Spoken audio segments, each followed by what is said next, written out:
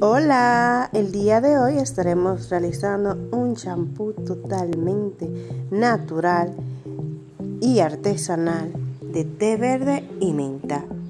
Eh, como pueden ver, este será un champú de té verde con menta. Yo lo consigo juntos en estos paqueticos de té, pero ustedes los pueden conseguir fresco o, o por separado, aunque así pienso que es más práctico. También vamos a estar utilizando agua destilada, glicerina vegetal, goma chantana, miel de abeja. Por acá tengo aceite de coco y aceite de oliva, petaina de coco, aceite esencial de menta y lavanda y nuestro conservante natural. Yo estaré ocupando Shadow Mix 705. Vamos a necesitar de las tiritas medidoras de pH para poder verificar el nivel de alcalinidad o acidez que contenga nuestro producto al final. Primero que vamos a hacer es que vamos a poner nuestra agua a hervir para hacer la infusión. Estoy usando 190 gramos de agua destilada.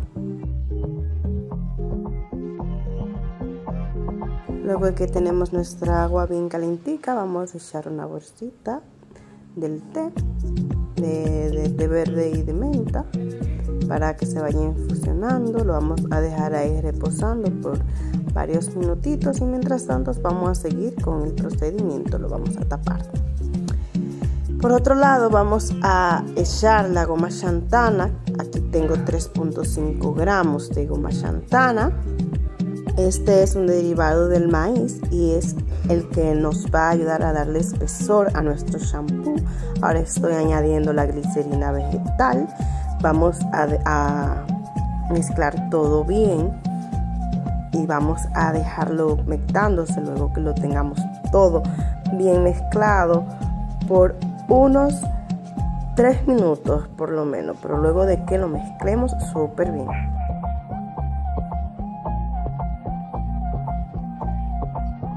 Debe de quedarnos así, que no se vea ninguno de los ningún pedacito de polvito blanco, ningún grumito. Tiene que quedarlo perfectamente bien así, como pueden ver por acá. Ok, ahora ya nuestra infusión ya tiene un buen tiempo ahí, por lo que está más que lista. Y se lo vamos a añadir a nuestra goma chantana y a nuestra glicerina. Una cosa se me olvidó mencionarle también que le voy a estar incorporando aloe vera, un poquito del jugo de aloe vera. Vamos a retirar la bolsita y lo añadiremos aquí. Vamos a ir meneando cada vez que incorporemos eh, cada ingrediente.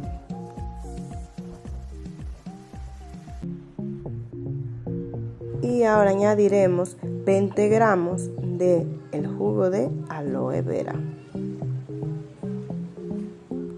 Bien, después de tanto batir y batir, así es como se va viendo nuestro shampoo. Miren la consistencia que, que, va cogiendo, eso es gracias a la goma chantana. La goma chantana es algo que se usa en muy poquita cantidad porque en realidad espesa demasiado, en verdad. Este ingrediente suele usarse mucho en, en la repostería.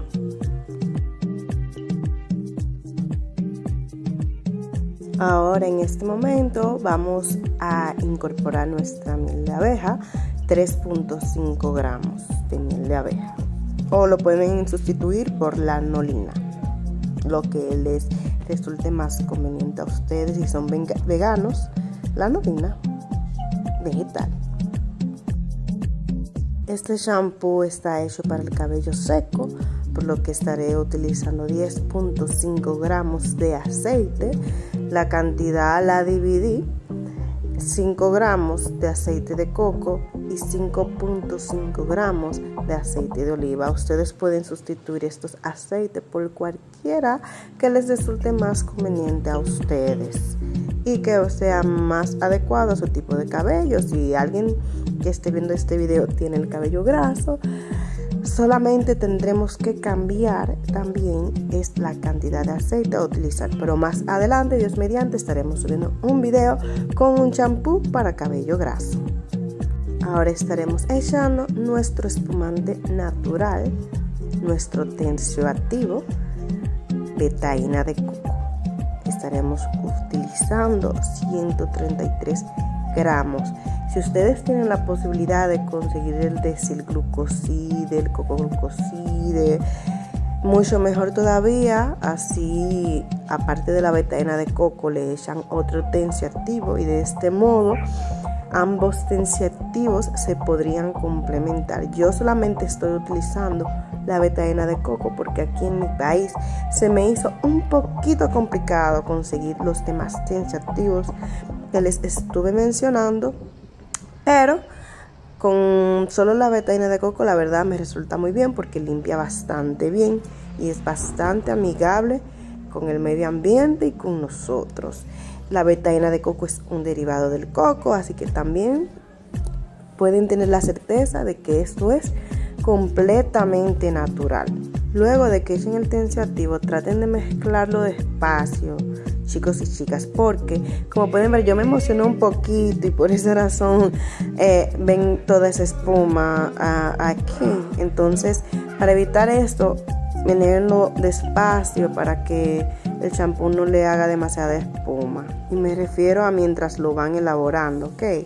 Eh, pero no importa si la, esa espuma, no pasa nada, solo lo tienen que dejar reposando y se le va.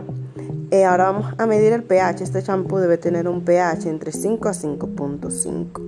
Eh, como pueden ver aquí eh, me quedó más cerca del, 6 que del, que del 5, por lo que tuve que proceder a, a ajustar el pH. Yo ocupé ácido cítrico, pero si usan ácido láctico también es muchísimo mejor. También pueden utilizar vinagre de manzana, aunque el olor no es muy agradable. Yo estoy utilizando unas cuantas gotas.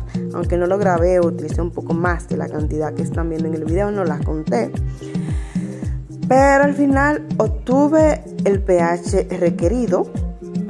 Si en dado caso ustedes se pasan de ácido cítrico o ácido láctico, de vinagre o whatever, lo que tiene que hacer es agregarle un poco de bicarbonato para poder subir el pH, o sea, para poder ajustarle y que le quede el pH adecuadamente. Ok, vamos a revisar ahora cómo está nuestro pH, como podemos ver, sí, ahí está, correcto. Eh, ahora estoy agregando el conservante natural 3.5 gramos ya que esto se agrega al 1% de la preparación y esta mezcla me da para 350 gramos. Esta mezcla es para 350 gramos de shampoo. Vamos a mezclar bien. Eh, también tener, deben de tener en cuenta que a la hora de echar en conservante, siempre primero deben de ajustar el pH porque el conservante eh, les va a funcionar solamente con un pH de 6 para abajo. Entre 5, 5.5, así. Ahora yo le estoy agregando 0.7 eh, gramos de aceite esencial de menta y 0.50 gramos de aceite esencial de lavanda. Eh, esto no se puede echar más del 1% tampoco. Yo realmente estoy usando mucho menos del 1% porque no quiero tampoco que eh, el champú tenga un olor demasiado fuerte, ya que lo aceite esencial, además de 8800 propiedades que aportan, eh, dan olor. Pero esto, oiganme, esto huele riquísimo. Un olorcito, lavanda con menta, óyeme, sensacional. Vamos a mezclarlo todo muy bien. Y nada, mis amores, ahora envasar. Yo voy a estar ayudándome con un embudo, pues para que sea mucho más fácil y cómodo, obviamente. Recuerden tener todo previamente desinfectado, todo limpio, a todos rocíenle alcohol. Ustedes no me vieron porque no grabé nada de eso en el video pero es para poder alargar la vida útil de nuestros productos. También utilicen guantes, mis amores. Yo en el video no estoy utilizando guantes porque esto lo estoy haciendo para mi uso y realmente para mí no me importa, pero si lo hacen para vender o regalárselo a alguien, usen su guantecito, llénense, aunque tenga guante, úntense alcohol, alcohol al pote, alcohol al embudo, alcohol a cada cosa, mis amores, porque eso es lo que les va a garantizar que este shampoo les pueda durar más. Recuérdense que esto es algo totalmente natural, lo que quiere decir que no les va a durar añales, como por ejemplo duran los del supermercado. Pero nada, mis amores, eso es todo. Aquí ustedes pueden ver esta delicia. Esto huele riquísimo, te limpia el cabello bacanísimo. Esto es una barbaridad. Ustedes tienen que probarlo. Los invito a que lo preparen. Les va a encantar. Se lo digo yo. Si les gusta este tipo de contenido, les invito a que se suscriban a este canal, den like. Cualquier duda, comentario o sugerencia me lo dejen allá abajito y nos vemos en un próximo video.